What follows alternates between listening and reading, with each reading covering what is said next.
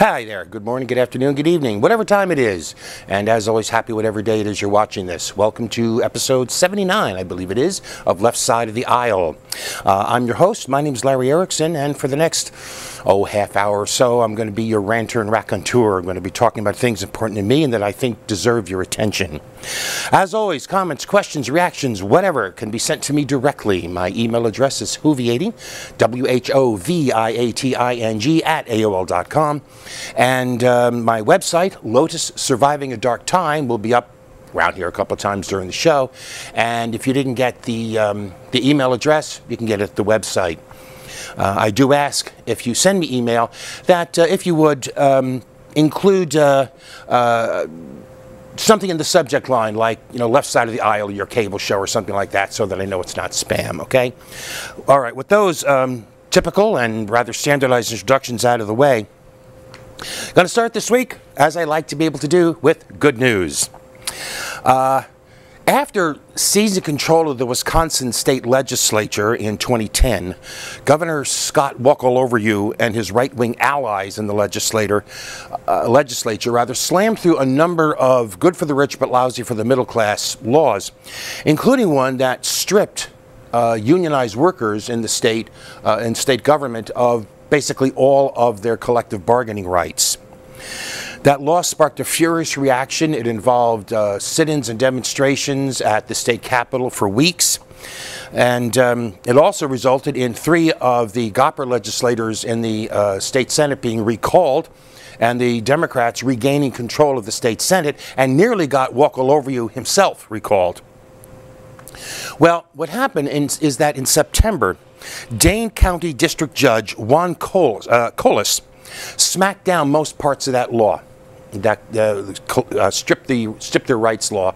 Uh, he said that this law violated the free speech, free association, and equal protection of the laws uh, rights that these people have under the Constitution. Now, the state asked him to stay his ruling while it appealed, during which time, of course, and appeals can go on for years on end, as you know, uh, the state would be free basically to act as if this law was in force, including tearing up union contracts and uh, basically ignoring people's rights. The good news here is that on Monday, October 27th, uh, October 22nd, excuse me, uh, Colas refused to issue that stay. Uh, that law remains on the trash pile, at least for now. The state uh, attorney general says he's going to appeal to the state court of appeals for that stay. And the thing is, logically, he shouldn't get it because the harm done to the workers by that stay is clear, while any harm done to the state is purely, by not having a stay, is purely hypothetical. So logically, he should not be able to get the stay, but when did logic have much to do with the law? So this may yet prove to be a temporary victory and temporary good news, but it doesn't change the fact that for now, it is. So starting with good news as I like to. But from there, we're going to take a switch. We're going to go over to our regular weekly feature, the outrage of the week. Now, two weeks ago, I told you about uh, David Siegel. He's the CEO of Westgate Resorts who sent an email to his employees telling them, in effect, that they uh, had better vote for Romney because if Obama wins, he'd have no choice but to downsize the company, that is, to fire people. Now, I'm returning to that point this week because well, at the time, I told you that this kind of intimidation was not uncommon, it was not unknown. Um, well, I'm returning to it because, yeah, it's definitely not unknown. He was hardly the only case. On September 30th, for example, a man named Arthur Allen, he's the CEO of a Florida-based software firm called ASG Software Solutions. He sent an email to his over 1,000 employees telling them that their jobs were at stake uh, and Romney had better win. The, the, the, bot, well, the, the, the subject line of the email said, Will the presidential election directly affect your job at ASG? The body of the email said, in part, that if Obama wins, ASG's chances of not being swallowed up by a bigger corporation were slim to none. Now, why that's true was never explained, and threats are often more effective when they're not fully explained. So, thing is, Allen added that uh, when we buy a company, we eliminate about 60% of the salaries of, that, uh, of the employees of that company. And he said, if we're swallowed by a bigger company, the same thing will happen to you. So the message is vote for Romney or 60% of you get the axe. And if that happens, he said, I don't want to hear any complaints about the, about the effects. But Allen didn't stop there. A subsequent email to those employees actually asked them, urged them to donate to the Romney campaign up to the legal maximum. Donate as much as you can up to the legal maximum because this was to help ASG and yourself. And you probably won't be surprised to hear that the Koch brothers are also involved in this. Earlier this month, earlier in October, the 45,000 employees of Georgia Pacific, which is a subsidiary of Koch Industries, they got a packet in the mail which included the voter information of, among other things, the Koch Industries endorsed candidates, all of them Goppers, not surprisingly, uh, and a cover letter that said if the wrong people should win, quoting, many of our more than 50,000 U.S. employees and contractors may suffer the consequences. By the way, as a quick sidebar to this, uh, in response to the revelation of this, of this email, uh, Industries released a statement that said, in part, and I'm quoting it here, any decision about which candidates to support belongs solely to our employees based on factors that are most important to them, and this in, is in no way an attempt to intimidate employees which frankly struck me rather like the armed robber who corners you in an alleyway, says your money or your life, and then says, but I'm not trying to intimidate you. You're free to choose based on whichever factors are more important to you. Well, anyway, the idea of employers trying to threaten employees, uh, making implicit threats against employees uh, in order to get them to vote the corporate line. This, this is not unprecedented, as I've said before, but the question is why is it this year? Why is it so blatant? Well, one reason is that corporations are now in the position of figuring, hey, nobody ever touches us. We can pretty much do whatever we want. So, you know, who's going to say nay? Another reason, though, is that uh, this whole idea was openly encouraged, openly espoused by Witless Romney. Back on June 6, when he was then a candidate for the nomination uh, for the Republican Party, it was in a conference call with this anti union business outfit called the National Federation of Independent Businesses. He said, and I'm quoting him here, I hope you make it very clear to your employees what you believe is in the best interest of your enterprise and therefore their job and their future in the upcoming elections. So, yeah, there is another reason that it's happening. Your guy told you to do it. Now, Witless assured his acolytes listening to this blather that this was all legal. He said, Nothing illegal about you talking to your employees about what you believe is best for the business because I think that will figure in their voting decision. That is, yes, this whole vote the corporate line or you might get fired business is precisely intended to affect their voting decision. That is the conscious, that is the deliberate purpose of this whole thing. The thing is, it's still illegal for a company to directly tell employees, vote this way or you're fired. But this kind of veiled threat, this kind of, well, if, if, if our guy doesn't win, then, well, who knows what might happen to your job, um, that's actually quite legal. How can this be legal? Why is this legal? Well, to use an old phrase that, uh, that I happen to like, to cap the climax, it's legal because of Citizens United. Citizens United, that abomination of a Supreme Court decision that opened the floodgates for massive amounts of corporate money to flow into elections, also overturned Federal Election Commission regulations that barred employees from uh, employers from directly uh, campaigning among their employees. That prohibition was in effect specifically because of the potential for this kind of intimidation. That's a prohibition that no longer exists. So, what we have here is another reason to despise Citizens United, another reason to regard Witless Romney as, like most, not all, but like most members of his class, as self serving scum. Another reason to recognize corporate America as propelled by nothing but, but uh, forever unsatisfied greed, another outrage, the outrage of the week. Okay, from there, we're going to move on from the from the from the uh, terrible to the absurd. We have this week's clown award, given as always for meritorious stupidity. This week's dishonoree is Iowa Congressman Steve King. Now, he's one of those people that in a sane world would not so much be laughed off the public stage as he would um, be gently removed and put somewhere where he could not do harm to the general intelligence of the body politic. And who, by the same token, make you despair for the future when you realize people actually vote for this steaming mass of putrefaction. Consider this. In, in July, he said that Obama's mother might have announced his birth by telegram from Kenya to Hawaii. This, this is the birther's explanation of why, if Obama was born in Kenya, there were actually two birth announcements in Hawaiian newspapers the next day. In August, he declared that liberals had so devalued life that, he said, a man can rape a young woman, kidnap her, take her across state lines, force her to have an abortion, and then drop her off at the swing set. And this is all legal in the United States of America, he said.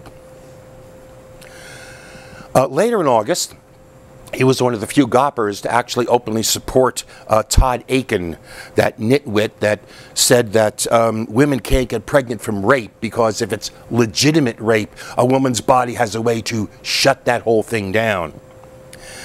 Now, never one to be outstupided, King went further. He said he never heard of a case of anybody getting pregnant from statutory rape or incest either. But give him this. He is fully prepared to embrace his wacko wingnuttery. In an interview this past Sunday, October 21st, with a local TV station, he went right for it. He repeated his comparison of immigrants to dogs. He said immigration policy should be like a dog buyer picking the best, uh, the pick of the litter. And what's more, he insisted this is a compliment. He dodges earlier birther statement saying he was just relaying the concerns of others, but then added that he doesn't know where Obama was born. He doubled down on the case of Huma Abedin, Huma Abedin is a woman who is a uh, chief advisor to Secretary of State Hillary Clinton, and, and she's a Muslim. And he insists that she is connected, that Abedin is connected to the Muslim Brotherhood. He calls this um, the objective truth. He actually urged an investigation and hinted that the supposed Islamic influence on the State Department had something to do with the Obama's policy in Libya. Finally, he said he has no position on whether states should be allowed to ban the sale of contraceptives. Not ban abortion, even, ban the sale of contraceptives. In the course of this, he suggested that the, that the Supreme Court case called Griswold v. Connecticut, this was the 1965 case that actually established a right of privacy as a basic constitutional principle, he suggested that that was wrongly decided. And he did all that literally in four minutes. Truly a tour de force of clownishness. Iowa Congressman Steve King, recognized by the Southern Poverty Law Center as one of the 15 most extremist candidates running for public office in the United States in 2012. Stephen King, clown. Uh, we're going to take a break right now.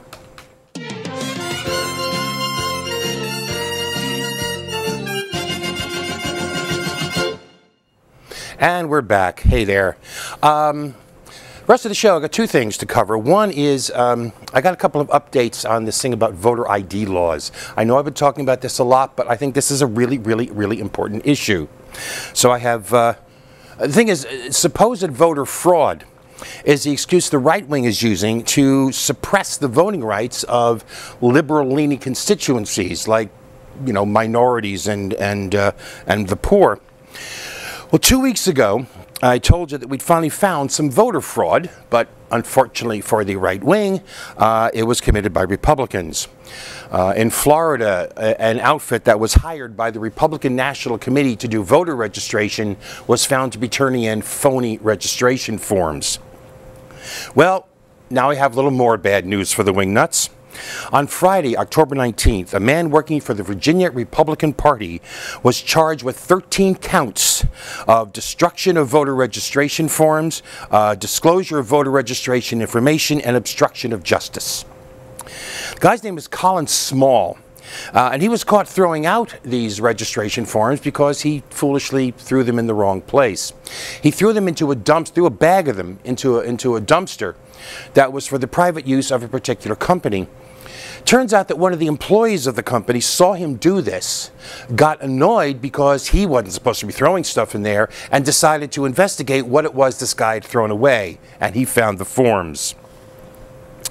Uh, now, the sheriff's office, the local sheriff's office uh, in Virginia, said there's no indication that this activity was widespread in our jurisdiction. And maybe it wasn't, but as several people have pointed out, there's really no way to tell how many additional voter registration forms were dumped there or somewhere else in the state over what period of time.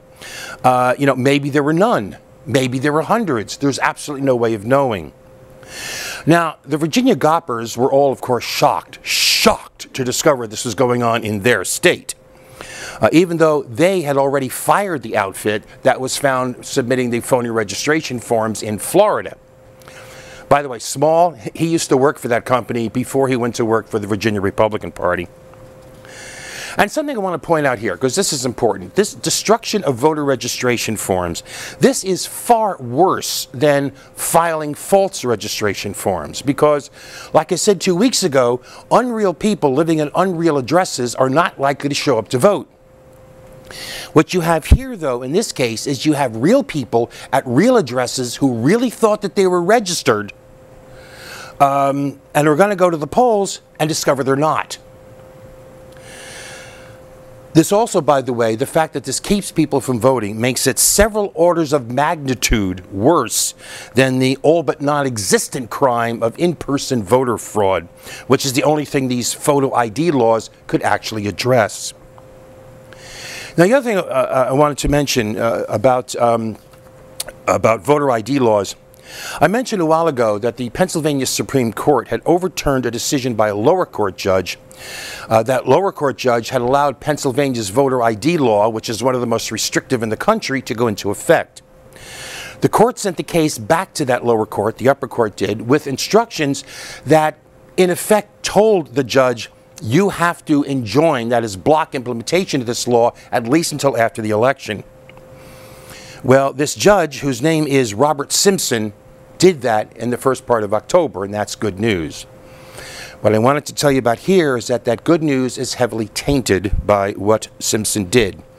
See, in that new ruling, Simpson said he was going to let the good parts of the bill stand. As a result, you don't need a photo ID to vote in a Pennsylvania uh, election in November, uh, and you'll be allowed to vote with a regular ballot, not a provisional one. However, you will still be asked for ID, even though you don't need it. What's more, and this is what's really, really offensive about Simpson's ruling, it allowed the state to continue its educational campaign about voter ID, where they were running ads uh, that actually told people that you needed a photo ID in order to be able to vote, and he allowed them to continue doing that. In fact, the state had a, had a uh, TV, TV ad. What it had was several different people saying, uh, do you want to have you want to have a voice? Do you want to take a role in the election? Do you want to have a say? Well, then, and then these various people were flashing their IDs going, show it, show it, show it. The only change the state made, it took them a couple of weeks to do it, the only change the state made to that ad was to add the line, you will be asked but not required to show an acceptable photo ID on election day at the end of it. It's the only change they made. In short, both Judge Simpson and the state of Pennsylvania have gone out of their way to do as little as possible. They have gone out of their way to affect the operation of this law as little as possible. They have done as much as they can get away with to still hint, to suggest, to give people the idea that no photo ID equals no vote. That idea is so much in circulation that last, um, last Thursday, October 18th, a newspaper in Pennsylvania published an article that said that photo ID is required to vote. And a week before that, uh, several thousand seniors in Pennsylvania got a mailing from a program that is administered by the State Department of Aging that told them a photo ID is required to vote. It's bad enough and the state's response has been slow enough and sluggish enough that last week the ACLU went to court and asked the court to order the state to stop sending out false information. Remember, we're talking now two and a half weeks before Election Day, and we're having to ask to not send out false information. Now, I have to tell you, I don't understand why there's not more outrage over this kind of voter suppression. I really don't. I don't understand how and why this we as a nation move so easily and so quickly from how can we encourage more people to vote to how can we keep people from voting. Um, can it really be that that many people in this country just take the idea of voting that lightly?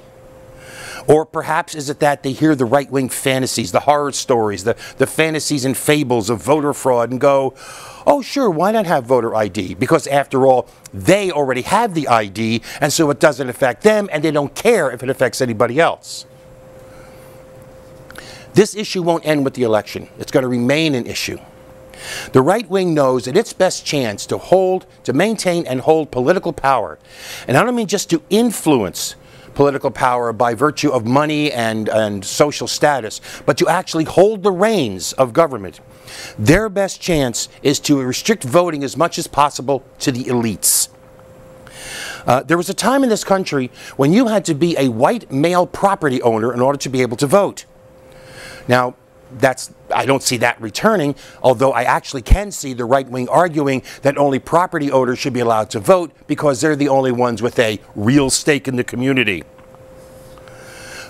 The thing is, even though I can't see, you know, that the kind of extreme position coming back, I can see a real chance of us becoming a society where those who most need society's support, the elderly, but also, you know, even more, the poor and minorities, that the people who most need society's support, not only as a practical matter, but actually as a legal matter, are the least able to gain that society's attention. That must not be allowed to happen. Know, one of the supposed ethical principles of our judicial system is that it is better that 10 guilty people go free than one innocent person be wrongly punished. Now, don't get hung up on the exact ratio like I've seen some people have. The basic principle is that saying one guilty, one innocent person being wrongly punished and uh, one guilty person getting away are not moral equivalents. The former is worse than the latter. Or apply that principle here, Cases of in-person voter fraud, which again the only kind these photo IDs could, could address, they're minuscule. A recent study turned up only 10 proven such cases in all elections nationwide since 2000. Even alleged cases are no more than in the hundreds over that same period. By contrast, recently passed voter restrictions, some of which have been blocked or, or knocked down by, by the courts, recently passed voter restrictions could have disenfranchised something over 5 million otherwise eligible voters. So the standard here we might say is better one person get away with in-person voter fraud than 500,000 people be wrongly denied their right to vote. We've got to face up to this as a nation. And I mean, I, I mean this sincerely. I, our, our right to a government of, by, and for the people is at risk. We are at a real risk of becoming not just as a, uh, uh, not just an effect, but in actual fact, a plutocracy ruled by the elites, ruled by the rich. And don't think this is just something out there. This past spring, there was an effort to get on the ballot in Massachusetts this fall, a, um, a ballot initiative about about photo, uh, photo, ID in Massachusetts. Now, it didn't get anywhere, but the point is that ID is also circulating around here. Don't think we're immune from this. There are a lot of reasons to criticize our government, a lot of reasons to criticize our political process, including it's captured by big money, the insistence of the media on treating political campaigns like, like sporting events, and the incredible narrowness of the choices we get presented. There are lots of reasons to criticize. The ability to vote is not one of them. All right, last. Last for today. I got a few minutes for this. George McGovern former member of Congress, former senator, 1972 Democratic candidate for president, um, longtime advocate for peace and against hunger, died this past weekend at the age of 90. George McGovern was the first major party presidential candidate I voted for. Uh, I can safely say that he is the only major party presidential candidate I voted for without a mountain of reservations. It's not to say I agreed with him on everything, but it does mean that I felt confident that I could trust in his basic decency, his basic honesty, his basic commitment to justice. Forty years later, I have no reason to change that assessment. I found it disappointing, hardly surprising, but disappointing that everything started with his 1972 loss to Nixon. And a lot of it didn't get beyond that. Now, yes, that was important. Yes, it needed to be mentioned. But why treat that as if that was the summation of the whole man? I mean, was this just a way for our modern blase, sneering, world-weary media to dismiss him as some kind of Don Quixote? McGovern actually failed to recognize the importance of image, even, even as early as 1972. He was dubbed the son of the prairie of South Dakota, was dubbed some kind of hippie by the Republicans, and he never really responded to that. I doubt more than a fraction of the voters knew that in World War II, McGovern was a, was a bomber pilot, that he flew 35 combat missions and received the Distinguished Flying Cross and the Air Medal. But don't ask that. Don't ask what people might not have known then. Ask what they might not know now as a result of reading this coverage. They might know he was an early and vigorous opponent of the Vietnam War. They might know that. But would they know that he co-wrote wrote or co-wrote 14 books, the last in 2011? Would he know that his concern for Native American rights was such that the Oglala Sioux called him the Great White Eagle? Uh, would they know that, and they wouldn't know, that he was a prime sponsor of the Food Stamp Act in 1977 that created the food stamp program as we know it today. They wouldn't know that even more than Vietnam, hunger was the issue that drove him. He was the first director of the Food for Peace program. He helped establish the UN's World Food, Pro Food Program. He was the first uh, chair of the Senate Select uh, Committee on Nutrition and Human Needs, and later on he became U.S. Ambassador uh, uh, to the United Nations Agency for Food and Agriculture. He co-created the International Food for Education and Nutrition Program. In 2001, he was named the first UN Global Ambassador on World Hunger by the World Food, Food Program. So people would know any of this because the media was too busy trying to reinforce the image of a hippie loser. During the floor debate in the first bill he introduced end the Vietnam War in 1969, he said this, I'm quoting, Every senator in this chamber is partly responsible for sending 50,000 young Americans to an early grave. This chamber reeks of blood. Every senator here is partly responsible for that human wreckage across our land. Young men without legs or arms or genitals or faces or hopes. There are not very many of those blasted and broken boys who think this is uh, war is a glorious adventure. Don't talk to them about bugging out or national honor or courage. It takes no courage at all for a congressman or a senator or a president to wrap themselves in the flag and say we're staying in Vietnam because it's not our blood that's being shed. That's the George McGovern I remember. That's the George McGovern I voted for, the man who knew the meaning of conscience and never sold his. History, it's said, is uh, rightly said, is often is written by the winners. But the trouble is that often means that history pays attention only to winners and losers and not to, to what endures. Conscience endures. That's it for the week. R.I.P. George McGovern. That's it for the week. You have the best week you can. We'll see you next week.